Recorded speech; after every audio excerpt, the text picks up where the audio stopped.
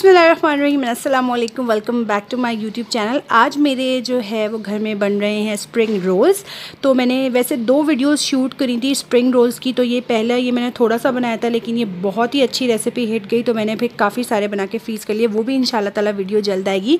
सो जल्दी से देख लेते हैं, मैंने ली है बंद गोभी तकरीबन एक पाव, हरी प्याज ली है, शिमला मिर्च मैंने थोड़ी सी ली है, तकरीबन समझें आप, एक शिमला मिर्च को जो है वो मैंने बारीक बारीक काट लिया है, और बंद गोभी थोड़ी हमें ज़्यादा लेनी वो एक पाव लेनी है, उसको भी हमने श्रेड कर लिया है। आप चाहें तो काट लें। बाकी एक प्याज सॉरी प्याज कह रही हूँ, एक गाजर ली, जिसको कद्दूकश कर लिया। अब जो है, ये मैंने तकरीबन एक पाव जो है, वो चिकन का कीमा करवा लिया था। One to to table spoon मैं ऑयल डालूँगी और उसके बाद जो है, वो मैं चिकन का कीमा डाल दूँगी। हमेशा नॉन स्टिक पैन में बनाए वरना जो है कीमा बहुत पकड़ लेता है। अगर आप इस तरीके से अलमूनियम में बनाएँगी तो ये मेरी मिस्टेक हो गई। नेक्स्ट वाली में मैंने नॉन स्टिक में ही बनाया है। खैर, अब जो है वो मैंने इसमें वन बाय वन करके सब्ज़ियाँ डाल दी हैं, और इसको मैं अच्छी तरीके से सौते कर लूँगी।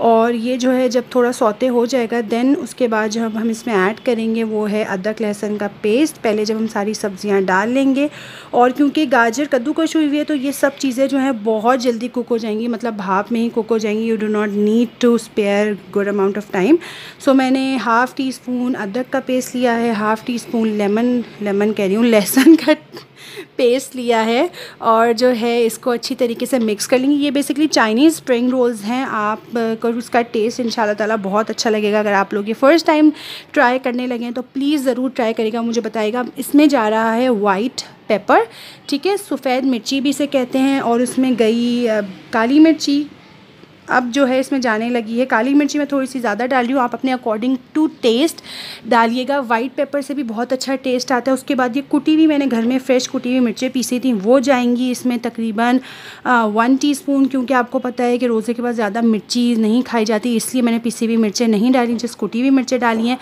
हसबे ज़ायका, नमक जाएगा सॉल्ट इसमें ऐड किया है। और इसमें मैं डालूँगी सोया सॉस तकरीबन टू टेबल स्पून मैंने सोया सॉस डाला है और उसके बाद मैं विनेगर डालूँगी।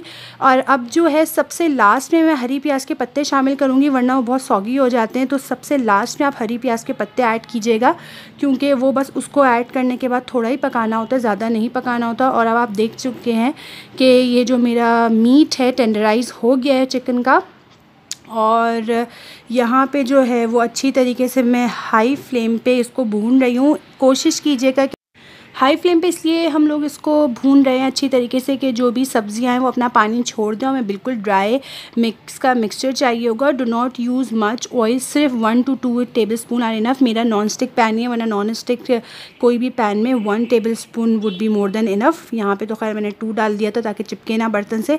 अब जो है हमें अपनी पट्टी लेनी है, जो भी रोल की पट्टी है, इसमें आप देख लें जितनी ज़्यादा फिलिंग आप लोग पसंद करते हैं। वैसे तो तकरीबन ये two and half tablespoon जाके सही होता है नॉर्मल जो एक अच्छा जो खूबसूरत भरा भरा रोल बनता है।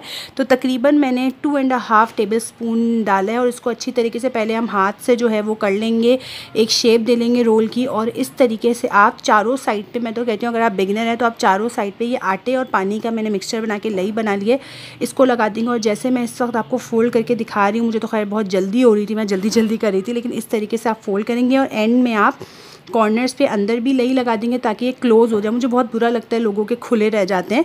सो उसे अच्छी तरीके से आप जो है वो बंद कर लेंगे। इस तरीके से सीलिंग जितनी अच्छी होगी ना सील बहुत अच्छा किया गया तो उतनी अच्छी शेप भी आती है। और इतनी अच्छी तलने के बाद भी आपके रोल होते हैं। और ये रेसिपी तो इतनी हिट है कि ये बनने के बाद इतने यमी बनते हैं गाइस कि ये मैंने ख़ुद ही ईजाद करी थी। पहले मैं शेडेड चिकन डाल दी थी, लेकिन जब से कीमा डाल के बनाया ना, ये बहुत मज़े की लगती है। और ये तमाम सब्ज़ियों का फ्लेवर और जो से मसाले गए, इतने मज़े के हैं कि इन ताला आफ्टर रमज़ान भी बना के रखने चाहिए हमें फ्रीज़र में।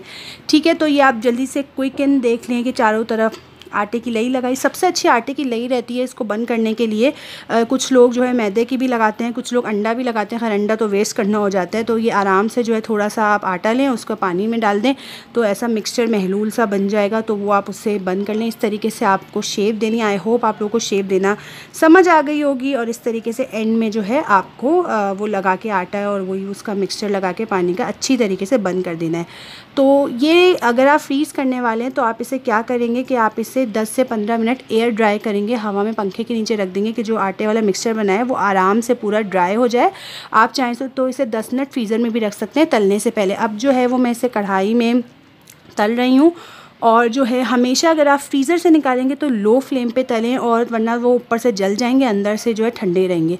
तो मैंने लो फ्लेम पे तले हैं ताकि एक अच्छा जो है वो कलर आ जाए। अब यहाँ पे अफ्तारी की तैयारियाँ हो रही हैं and my rolls are ready and the taste was so good like I really wanted you guys to try it out आप लोग ट्राई ज़रूर कीजिएगा इन ताला। इसी से मिलती जुलती नेक्स्ट रेसिपी भी आएगी स्प्रिंग रोल्स की और मैं आपको बताऊँगी कि आप कितने ढेर सारे रोल्स बना के फ्रीज़ कर सकते हैं। तो मेरे चैनल को लाइक सब्सक्राइब ज़रूर कीजिएगा, इस वीडियो को लाइक कीजिएगा और शेयर कीजिएगा अपने फ्रेंड्स एंड फैमिली में। टिल देन अल्लाह हाफिज़।